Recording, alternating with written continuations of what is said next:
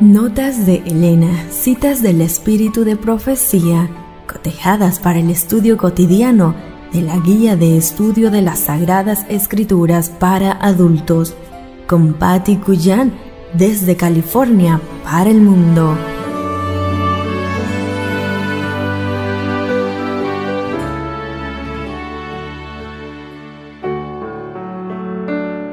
Hola, muy buenos días. Qué gusto me da saludarte y saber que estamos juntos de nuevo. Hoy iniciamos una nueva semana laboral y quiero desearte que la inicies con alegría, con éxito y una gran sonrisa, pero sobre todo con la fe en Dios. Gracias por estar conmigo para juntos repasar Notas de Elena para las lecciones de la escuela sabática, el libro de Salmos. Lunes 12 de febrero titulado Crea en mí un corazón limpio. El arrepentimiento de David fue sincero y profundo. No hizo ningún esfuerzo para aminorar su crimen. Lo que inspiró su oración no fue el deseo de escapar a los castigos con que se le amenazaba, pero vio la enormidad de su transgresión contra Dios, vio la depravación de su alma y aborreció su pecado. No oró pidiendo perdón solamente, sino también pidiendo pureza de corazón.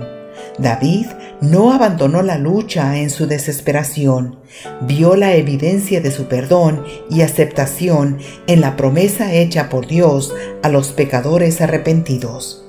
Este pasaje de la historia de David rebosa de significado para el pecador arrepentido es una de las ilustraciones más poderosas que se nos hayan dado de las luchas y las tentaciones de la humanidad y de un verdadero arrepentimiento hacia Dios y una fe sincera en nuestro Señor Jesucristo a través de todos los siglos ha resultado ser una fuente de aliento para las almas que habiendo caído en el pecado han tenido que luchar bajo el peso agobiador de su culpa.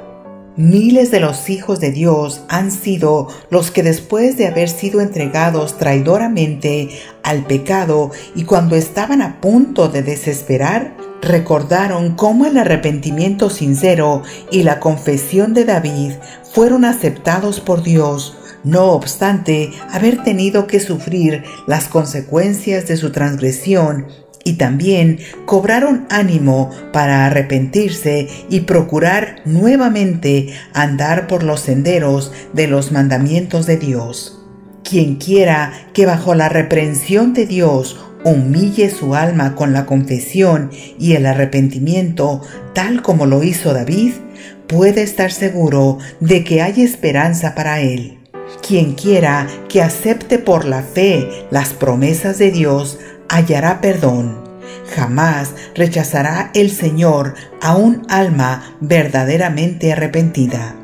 Historia de los Patriarcas y Profetas, páginas 785 y 786. Debemos recordar que todos cometen equivocaciones, aún hombres y mujeres que han tenido años de experiencia a veces yerran, pero Dios no los abandona a causa de sus errores. A cada descarriado hijo o hija de Adán les da el privilegio de otra oportunidad. Jesús se complace que vayamos a Él como somos, pecaminosos, impotentes, necesitados. Podemos ir con toda nuestra debilidad, insensatez y maldad y caer arrepentidos a sus pies. Es su gloria estrecharnos en los brazos de su amor, vendar nuestras heridas y limpiarnos de toda impureza. Miles se equivocan en esto, no creen que Jesús les perdona personal e individualmente. No creen al pie de la letra lo que Dios dice. Es el privilegio de todos los que llenan las condiciones saber por sí mismos que el perdón de todo pecado es gratuito. Alejad la sospecha de que las promesas de Dios no son para vosotros, son para todo pecador arrepentido. Cristo ha provisto fuerza y gracia para que los ángeles ministradores las lleven a toda alma creyente. Ninguno hay tan malvado que no encuentre fuerza, pureza y justicia en Jesús, que murió por los pecadores. Él está esperándolos para cambiarles los vestidos sucios y corrompidos del pecado por las vestiduras blancas de la justicia. Les da vida y no perecerán. En los lugares celestiales, página 136. Te espero el día de mañana y recuerda, puedes tener paz en medio de la tormenta, porque Dios está en control.